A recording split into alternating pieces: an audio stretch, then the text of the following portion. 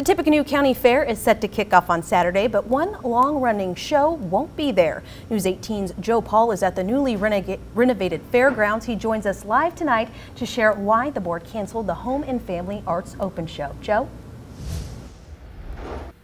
Hey Sam, I'm in the east wing of the newly constructed Coliseum here at the fairgrounds, and this is where most of the non livestock exhibits will be housed, and it would also be the location of the Home and Family Open show if that show hadn't been abruptly canceled last month.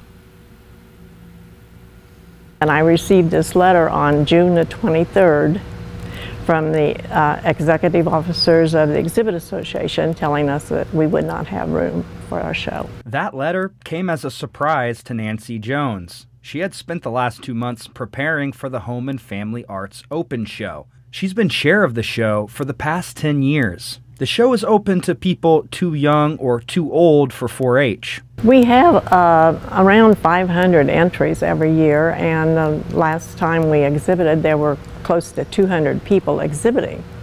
So this is a big disappointment. The reason? Space constraints, says Fair Board Vice President Jason Hankins. As you come in on this side, you can see we're starting to really compile um, space just so everybody can move through it freely. The show's former location, the Home Ec building, was torn down during fairground renovations. But Hankins says there's not enough space in the newly built Coliseum. We're waiting on the new, or on the Y, the old YMCA to be finished, um, and it didn't, it didn't happen this year. So that kind of re reduced the amount of space we were going to have for these projects. And so so with that, unfortunately, we had to make some decisions. Um, you know, of course, the kids come first. But Jones says a common misconception is that the show is open only to seniors. And she says the new fairgrounds should have room for a time-honored tradition. This is just not for old people.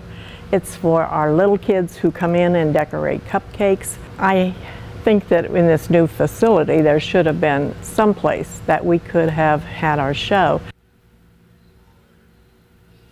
The Home and Family Arts Open Show has been running here at the fair since the 1980s. Hankins says the Fair Board is working to ensure that space is secured for the show next year. Reporting live in Tippecanoe County, Joe Paul, News 18.